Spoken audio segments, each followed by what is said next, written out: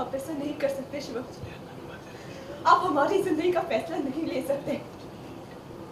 और तुम्हें क्या हो गया?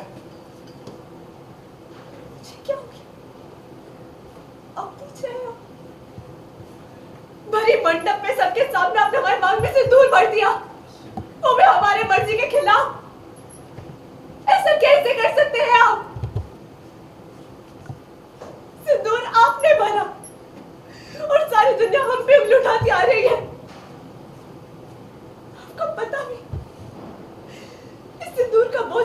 सहा है हमने।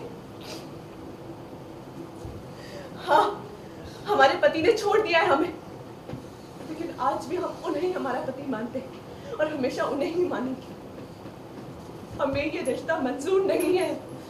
इसी वक्त हमें इस रिश्ते से आज़ाद कीजिए आप। ठीक है।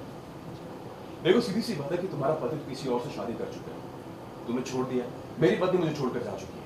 तो चुपचाप यहाँ पर रहो प्रॉब्लम क्या तुम्हें? समझ नहीं रहे ना। हम नहीं रहना चाहते यहाँ। देखो मैं तुम्हारी मदद नहीं कर सकता हूँ ठीक है? शिव जी आप होश में तो हाँ मैं होश में हूँ। बात खत्म। बस इतनी सी बात है घर वालों को गुनगुन के लिए माँ चाहिए थी। और तुमसे अच्छी माँ मिल नहीं सकती थी ये बात उनको भी मालूम है लेकिन मानना नहीं चाहते।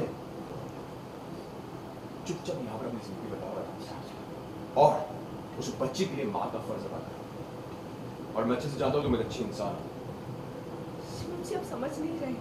और मुझे समझना भी नहीं है। एंड हाँ मैं तब से इसी उम्मीद में बैठी हुई थी कि कब शिवम आएगा कब शिवम आएगा और ये जो बोझ है मेरे सर पे सिंदूर का वो हटेगा। क्योंकि मुझे विश्वास था जैसे उसे पता चलेगा कि मैं पहले से ही शादीशुदा हूँ और स्पेशली एक छोड़ी हुई औरत हूँ तो वो ऑब्वियसली नहीं चाहेगा कि उसकी शादी किसी छोड़ी हुई औरत से हो कोई भी आदमी नहीं चाहेगा। तो आई एम श्योर कि वो मेरे मांग से सिंदूर हटा देगा और मुझे भी रिलीफ मिल जाएगी। और मैं भी फिर ये जो शांति सदन में झगड़े वगड़े हो रहे थे मेरी वजह से, मुझे बिल्कुल भी अच्छा नहीं लग रहा था। तो यू नो वो भी ख़त्म हो जाएगा और मैं आराम से यहाँ से चली जाऊँगी और सब खुश हो जाएँगे।